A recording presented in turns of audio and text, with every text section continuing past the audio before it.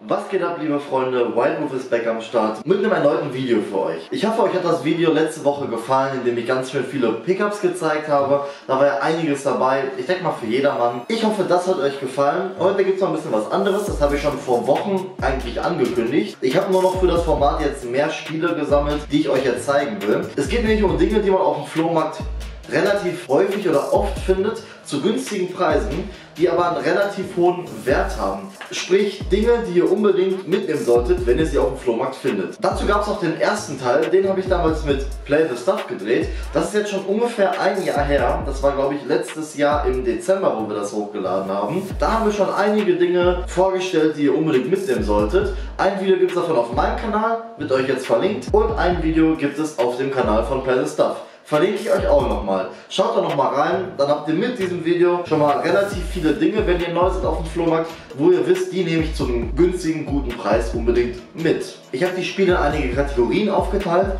und heute geht es nur um Games. Das ist also die Games Edition. Letztes Mal hatten wir auch zum Beispiel Phase 10 dabei, Tabletop Games und ein paar andere Sachen noch, die keine Games waren. Heute zeige ich euch nur Games, die ihr auf dem Flohmarkt immer mitnehmen könnt. Let's go, viel Spaß! Wenn ihr auch noch mehr Tipps haben wollt, dann schaut auf jeden Fall auch bei meinem Instagram vorbei. Da poste ich auch oft Deals, die ich hier gar nicht mehr zeige, weil das auch zu viel wird, wenn ich hier jeden einzelnen Deal zeigen würde. Daher schaut auf meinem Instagram vorbei, White Wolf Flohmarkt heißt ich dort ist auch in der Videobeschreibung verlinkt. Zudem lasst mir doch gerne ein Abo da, dann verpasst ihr hier gar nichts mehr, um in Zukunft auch coole Tipps für den Flohmarkt mitzunehmen. Jetzt wünsche ich euch viel Spaß mit dem Video. So, als allererstes, weshalb ich überhaupt auf die Idee wieder gekommen bin, dieses Format wieder zu beleben. Denn wie gesagt, das alte Video, der erste Part ist schon ungefähr ein Jahr her. Das ist ein Spiel, das könnte man definitiv mal finden. Vor allem, glaube ich, bei Händlern ist es möglich, dieses Spiel relativ günstig abzugreifen. Denn wir wissen alle, welches Spiel ist das, was man am meisten auf dem Flohmarkt findet.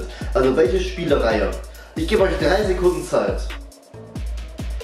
Richtig, FIFA. Wir alle wissen, dass es einen Haufen FIFA gibt, die nicht mal Euro wert sind. Da ist nicht mal die Hülle wert, das Spiel für einen Euro mitzunehmen. Daher lassen wir das auch immer liegen. Es gibt ein paar Ausnahmen und eine davon will ich euch jetzt zeigen. Und zwar ist das hier FIFA 14 in der Ultimate Edition. Anleitung ist mit dabei, CD ist mit dabei und ihr wundert euch wahrscheinlich, FIFA 14 für die Playstation 2.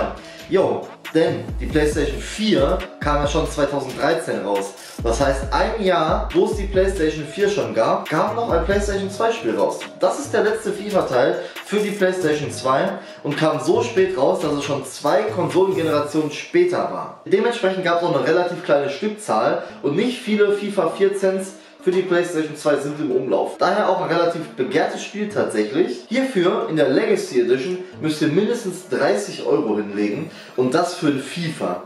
Ein anderes FIFA wären zum Beispiel FIFA 19, 20 und jetzt 21 für die Playstation 3. Die sind auch immer gut was wert, zwischen 20 und 40 Euro. Die habe ich nicht in meiner Sammlung, aber das FIFA 14 ist definitiv ein Spiel, das ihr auf dem Schirm haben solltet für die Playstation 2. So, wo wir bei Fußball und FIFA sind, da ist dieses Spiel nicht weit.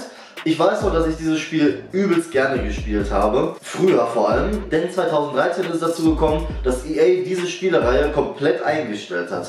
Wovon rede ich? Fußball Manager 13. Das ist der vorletzte Teil, der 2014er Teil, der 2013 rausgekommen ist. Den gibt es auch noch. Das ist der vorletzte Teil. Was, Bruder? Was soll ich sagen, Bruder? Und ihr seht, die Beipackzettel sind mit dabei. Alles ist in einem schönen Zustand. Und haltet euch fest, dieses Spiel wird heutzutage immer noch mit Mods gespielt und kostet genau wie FIFA 14 auch ungefähr 30 Euro. Und das für ein Fußball-PC-Spiel. Wer hätte gedacht, dass das so viel wert ist? Das habe ich letztens mal in einem Second-Hand-Shop für 1 Euro gefunden. Und der Vollständigkeitsweg habe ich für FIFA 14 5 Euro bezahlt. Aber wie oft habt ihr das schon gehabt, dass es irgendwelche PC-Kisten auf dem Flohmarkt gab, die ihr immer durchgestöbert habt? Und dieses Spiel, da habe ich von vielen Leuten schon gehört, dass sie das oft auf dem Flohmarkt gefunden haben. Bei mir war es jetzt halt der Second-Hand-Shop, aber viele Kollegen, unter anderem auch Retro Dani, hat dieses Spiel auch auf dem Flohmarkt gefunden. Und meistens zahlt ihr ja nicht mehr als einen Euro für ein PC-Spiel. Daher ist das ein Hammer-Spiel, wo ihr unbedingt darauf achten solltet, wenn ihr das auf dem Flohmarkt findet, mitnehmen.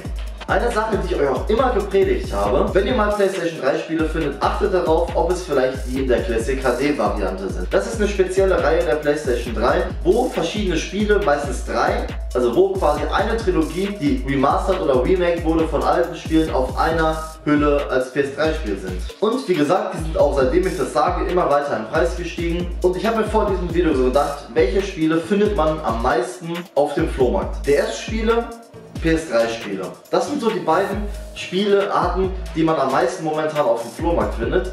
Daher zeige ich euch jetzt drei Collections von der PlayStation 3, die ihr unbedingt mitnehmen solltet. Grundsätzlich kann man aber sagen, wenn ihr dieses Zeichen Classic HD auf dem Flohmarkt sehen solltet, nehmt das unbedingt mit.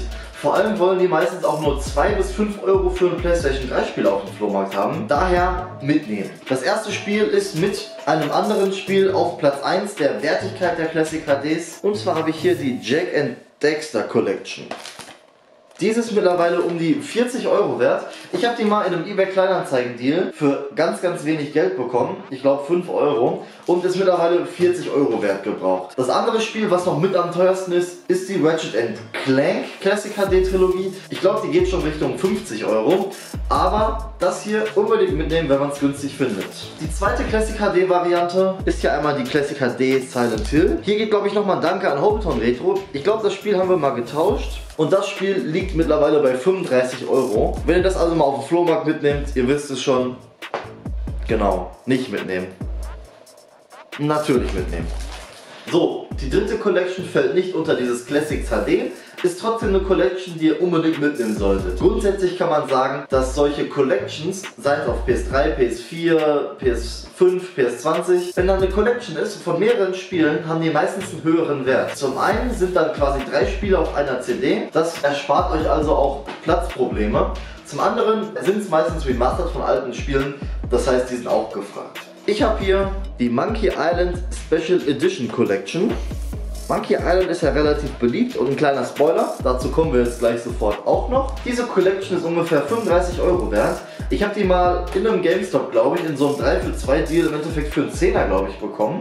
Mittlerweile 35 Euro wert. Da sind halt die ganz alten Dinger drauf. Und es gibt ja auch viele LucasArts-Fanboys, die dieses Spiel gerne haben wollen. Bei mir ist es auch in der Sammlung. Dementsprechend ist es nicht diese Classic HD-Variante. Es ist trotzdem eine Collection von alten, coolen Spielen. Daher zu einem guten Preis natürlich ein geiler Fund und ein cooler Schnapper. Grundsätzlich ist es ja so, dass PC-Spiele nicht so gut gehen und keinen hohen Wert haben. Es gibt Steam, es gibt alle möglichen GOG und was weiß ich. Es gibt eine ganze Menge Plattformen, wo man sich die Spiele sehr, sehr günstig digital runterladen kann. Es gibt aber auch ein paar Spiele, die sind nicht bei Steam und dementsprechend braucht man sie physisch. Das gibt es zum Beispiel bei den Herr der Ringe Spielen, Schlacht um Mittelerde. Diese Spiele gibt es nicht auf den Steam-Seiten, dementsprechend braucht man es physisch. Ich glaube, das gleiche ist auch mit Fußballmanager 13, ich bin mir aber nicht so sicher. Dennoch habe ich hier ein Spiel, das findet man auch relativ häufig in PC-Kisten und das solltet ihr für kleines Geld unbedingt mitnehmen. Das ist Tales of Monkey Island für den PC.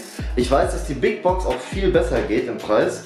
Die liegt schon weit über 50 Euro. Ich habe jetzt hier die normale Standard-PC-Version. Anleitung ist auch mit dabei.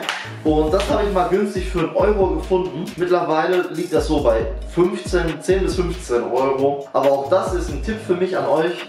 PC-Spiele ist, man findet so viele PC-Kisten auf dem Flohmarkt, die man durchwühlt. Und jetzt habt ihr schon mindestens drei PC-Spiele, die einen guten Wert haben. Und irgendwann wird eins dabei sein. Und PC-Spiele kosten, wie gesagt, auf dem Flohmarkt kaum mehr als 1 Euro. So, jetzt kommen wir zu zwei coolen PlayStation 3 Spielen. Was immer gut geht, sind Disney-Sachen. Seien es wahrscheinlich welche Plüsch oder vielleicht auch Filme. Aber es gibt einige Disney-Spiele, die einen krass hohen Wert haben, wo die meisten wahrscheinlich nicht dran gedacht haben, dass das überhaupt ansatzweise so viel wert sein könnte. Zum einen, das habe ich schon relativ lange in meiner Sammlung. Das habe ich mal in einem GameStop gekauft. Das hat damals, glaube ich, 14,99 oder 19,99 gekostet. Ich weiß es nicht mehr genau. Aber es ist Singster die Eiskönigin. Ich bin zwar nicht so im Game drin, aber ich glaube, Eiskönigin Elsa ist hammermäßig beliebt. Und es gab auch eine Zeit lang, da war Singster eingestellt. Ich weiß nicht, ob es immer noch so ist, ob die jetzt vielleicht doch wieder sagen, wir machen Singstar-Spiele. Irgendwas habe ich da im Hinterkopf. Aber es gab eine Zeit, wo Singstar-Spiele nicht mehr produziert wurden. Deswegen gibt es auch von der Eiskönigin relativ geringe Stückzahlen. Und hierfür müsst ihr gut und gerne 35 Euro bezahlen, wenn ihr das haben wollt. Ich habe es noch zu einem relativ humanen Preis bekommen. Ich sammle ja Playstation 3 und will solche Kuriositäten definitiv in meiner Sammlung haben. Aber wenn ihr das jetzt haben wollt, 35 bis 40 Euro bei eBay, safe. Das andere Spiel geht in die gleiche Schiene. Das habe ich jetzt erst gestern wieder bekommen. Ich habe es für 9 Euro inklusive Versand gekauft. Klingt erstmal nicht wenig, würde ich sagen. Aber wenn ich euch gleich sage, was das Spiel wert ist, dann denkt ihr euch, ja, warum hast du nicht direkt zwei genommen? Und zwar rede ich hier von Disney Sing It, den Filmhits. Das ist auch eine Art Singstar. Hier sind quasi aus diesen ganzen bekannten Disney-Filmen, ich weiß nicht, was hier alles drauf ist, Monster AG, Schön und das Biest, Aladdin, äh, König der Löwen, Ariel und so weiter. Davon sind die ganzen Filmhits, also die Musik aus den Filmen, die Soundtracks, die sind hier drauf und die können nachgesungen werden. Das ist natürlich sehr beliebt und das wollen auch viele Jüngere, glaube ich, gerne spielen. Relativ beliebter Titel. Jetzt kommt's, dafür müsst ihr ungefähr 40 bis 50 Euro ausgeben. Da relativiert sich schon wieder die 9 Euro, die ich euch am Anfang gesagt habe, was ich hierfür bezahlt habe. Das wird definitiv so in meine Sammlung gehen. Ist absolut ein nices Piece für die Sammlung. Hat nicht jeder, würde ich sagen. Ist auch nicht so häufig anzutreffen auf Ebay. Oft, komischerweise, kleiner Fun Fact, habe ich das Spiel, also ihr müsst sehen, wenn ihr euch den Preis recherchiert oder wenn ihr natürlich guckt, dass ich hier keine Scheiße laber, ihr guckt euch natürlich selber dann nochmal bei Ebay rein und dann seht ihr, es gibt relativ oft dieses Spiel in Spanisch. Das ist meistens nur so 20 bis 30 Euro wert. Deutsche ist dann so 40 Euro ungefähr wert. Definitiv ein cooles Spiel was man auch mal gut und gerne auf dem Flohmarkt, im Secondhand oder bei eBay Kleinanzeigen zu einem günstigen Kurs schnappen kann. Wir wechseln jetzt nur die Konsole und zwar gibt es ja, wie die meisten kennen, Guitar Hero, DJ Hero, Rockband. Das sind solche Spiele, da braucht man eine Gitarre für, dann kann man damit spielen. Relativ beliebt, die Spiele sind oft ein bisschen mehr wert als diese Standard Wii-Spiele. Ich habe mir jetzt mal zwei für euch rausgesucht, wo ihr auf jeden Fall ein Auge drauf haben solltet. Hier haben wir einmal Guitar Hero Metallica. Anleitung ist mit dabei alles in einem Top-Zustand und es gibt nur wenig Spiele für die Wii, die ein bisschen was an Wert haben. Das ist eins davon, das liegt so bei 12, 13 Euro. Solltet ihr natürlich nicht liegen lassen, wenn ihr das mal irgendwo seht. Was aber dann noch einen krasseren Wert hat, das habe ich so noch nicht so häufig gesehen. Ich würde es aber nicht ausgrenzen, dass ich das mal nicht auf dem Flohmarkt finden würde. Und zwar ist das ACDC Live Rock Band. Dieses Spiel geht so für 18 bis 20 Euro und für ein Wii-Spiel relativ beliebt. Hier sind die besten Songs von ACDC drauf auch was für Liebhaber, welche die gerne ACDC hören. Und dementsprechend, wenn ihr das nächste Mal Wii-Kisten durchwühlt, haltet nach diesen beiden Spielen Ausschau. Guitar Hero, Rockband findet man immer mal wieder auf dem Flohmarkt. So, bleiben wir bei Wii. Ein Wii-Spiel habe ich noch für euch, denn neben Playstation 3 und Nintendo DS finde ich, dann kommt nämlich die Wii. Davon findet man am meisten Spiele. Hier habe ich für euch, wenn man es so richtig ausspricht, Coraline. Ich weiß gar nicht genau, was das für ein Spiel ist. Da bin ich auch nur zufällig drüber gestolpert. Sieht für mich aus wie eine Art Abenteuerspiel, vielleicht Richtung Job and One. Anleitung ist mit dabei, das wisst ihr natürlich alle. Es ist immer besser, wenn die Anleitung dabei ist. Dann ist das Spiel auch gefragt und hat einen höheren Wert. Dieses Spiel kostet 35 Euro. Ich denke mal, ich habe auch gestern eine Abstimmung gemacht. Es haben, glaube ich, ich glaube 8 von 80 oder so wussten, dass das Spiel was wert ist. Der Rest wusste es nicht. Hier also mein Tipp für euch. Wenn ihr das mal bis 10 Euro findet, würde ich das definitiv mitnehmen. So, nun kommen wir zum Ende. Ihr wisst ja, mein Hauptsammelgebiet ist die Gamecube. Ich finde, da gibt es nicht so viele Dinge, wo ich euch jetzt sagen könnte, wenn ihr das mal günstig auf dem Flohmarkt findet, nehmt es mit, weil man findet eigentlich nie günstige Gamecube-Spiele auf dem Flohmarkt. Wenn, dann ist das eher mal die Seltenheit oder man findet auf einmal ein Paper Mario wie Dennis für ein 20. Aber das brauche ich euch nicht sagen, dass das viel wert ist und das findet man einmal in fünf Jahren vielleicht auf dem Flohmarkt. Daher wollte ich euch noch ein Spiel zeigen, wo ich vorher auch gar nicht wusste, wie viel wert das ist. Ich habe es gekauft, weil ich eigentlich fast alles an Gamecube-Spielen mitnehme was kein Sport ist und da kommen wir jetzt auch dazu, weshalb viele dieses Spiel glaube ich unterschätzen. Denn ich habe mir Evolution Snowboarding für meine Sammlung gekauft. Dieses Spiel ist verdammt selten, wie ich feststellen musste. Es gibt in Evo Europa drei Evolution Snowboarding Spiele für den Gamecube. Einmal wie ich in der USK-Variante und zweimal in der englischen Version. Die deutsche Version lag bei 80 Euro, wo ich geguckt habe bei eBay und die anderen Spiele lagen sogar bei über 100 Euro. Das ist einfach nur ein fucking Snowboard-Spiel.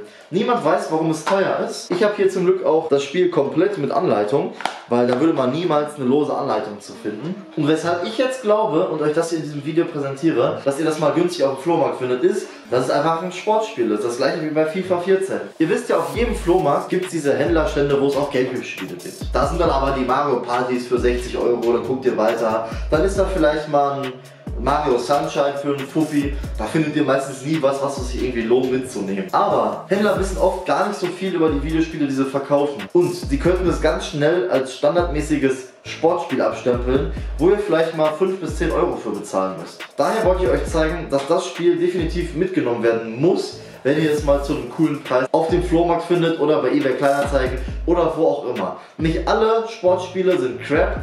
Das Spiel hat wahrscheinlich so einen realistischen Wert von 60, 70 Euro. Wenn ihr jetzt eins haben wollt, gibt es nur eins in eBay Deutschland für 80 Euro. Von daher ein richtig cooles Spiel und ein geiler Geheimtipp, wie ich finde, den ihr hier for free auf meinen Nacken bekommt. Daher würde ich mich auch freuen, wenn ihr eine coole Bewertung da lasst. Schreibt mir einen nice Kommentar, denn im Endeffekt zeige ich euch hier richtig nice Sachen, die ihr günstig auf dem Flohmarkt mitfinden könnt.